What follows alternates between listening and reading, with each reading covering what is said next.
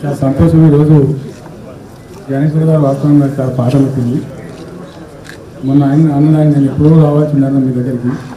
బాగా లేట్ అయింది అని చెప్పాను. దాని నుంచి ఈ బాధనే ఉండకపోవు. ఇలా కనీసం మనం కూడా తెలియదు టికెట్ ఇచ్చిండు. ఒక్కనే పెంచినాం బాగా. ఆయన ఇవాళ కూడా కానీ బండ ప్రకాశం ఒక ఆయన మళ్ళీ నేను తీసుకొచ్చి అప్పుడు రాజ్యసభ చేసుకొని మళ్ళా తర్వాత ఎమ్మెల్సీ చేసుకొని కౌన్సిల్ వైస్ చైర్మన్గా కూడా ఇంకొకటే హామీ ఇస్తా ఉన్నా. వృత్తిపరంగా చూసుకున్నప్పుడు ఇలా దాదాపు మంచి లాభం మన సామాజిక వర్గానికి జరిగింది. ఇందులో డౌట్ లేదు. పిల్లంతా సంతోషం ఉన్నారు ప్రజలు. రాజకీయాలకు వచ్చినప్పుడు ఏంటంటే అవకాశాలు సీట్లు కూడా ఇవ్వడానికి మనం మానవ పెద్ద తమాషా. దాన్ని అర్థం చేసుకోవాలి ఏంటంటే ఉండేటి నూట పంతొమ్మిది సీట్లు లెక్కలు నూట పంతొమ్మిది. కానీ ఏడు సీట్లు మనకి కావు మనకు రావు మీకు తెలుసు నూట పన్నెండే లెక్క. సో ఈ సీట్ ఒక్కొక్క సీట్ కౌంట్ అవుతుంది. రాజకీయంగా. పెట్టినవంటే గెలవాలి. ఇంకో ఇంకో పడి గెలవాలి. ఓడిపోవడానికి పెట్టి తమాషా పెట్టి సామాజిక వర్గానికి ఇచ్చిన పేరు కోసం నేమ్ పేరు పెట్టి కానీ క్యాండిడేట్ ఓడిపోయి పార్టీకి నష్టం జరిగి ఇబ్బంది జరుగుతుంది. అయితే ముదిరాజ్ సామాజిక వర్గాన్ని చెప్పేది ఒకటే ఎన్నికల తర్వాత ఒకసారి కూర్చుందాన్ని సార్ డీటెయిల్ కూర్చుందాము హైదరాబాద్లో.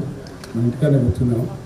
కూర్చొని అప్పుడు ఎన్టీ రామారావు గారు వచ్చినప్పుడు స్టార్ట్ అయింది వాస్తవం చెప్పాను బీసీలకు లోకల్ బాడీస్లో రిజర్వేషన్ పెట్టి అప్పుడు మేమే అందరం కలిసి అని పెట్టించాం అప్పుడేమో రాలేదు.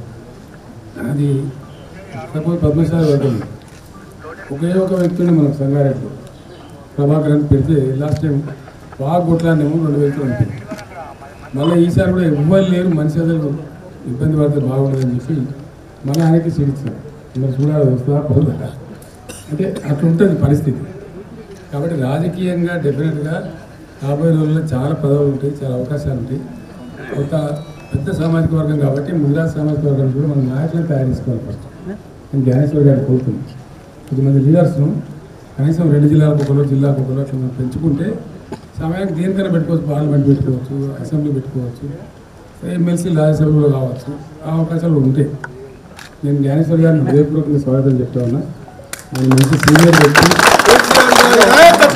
సందర్భాన్ని సందర్భంగా పార్టీ మీద పోరాటం కూడా చేసిండు. డెఫినెట్గా ఆయనకి రీచ్ కూడా ఉంది. నేను అతను ఒకటే మాట్లాడాను అందులో నేను ఒక్క మనిషిని ఆడడం కాదు.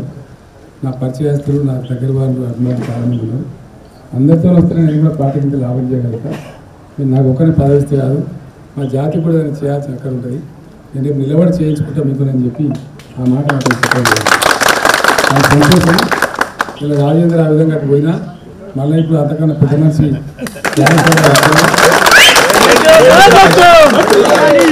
ఆ విధంగా తన స్థానం తన స్థానం ఎట్లా పెరుగుతుంది అందులో డౌటే లేదు. మిగతా వాళ్ళకు కూడా మనం ఏం చేద్దాం? జిల్లాల వారిగా కూర్చొని ఆలోచన చేసి డెఫినెట్గా రకరకాల పోయి రేపు ముప్పై మూడు జిల్లా పరిషత్ చైర్మన్లు మున్సిపల్ చైర్మన్లు కార్పొరేషన్ చాలా ఉంటాయి.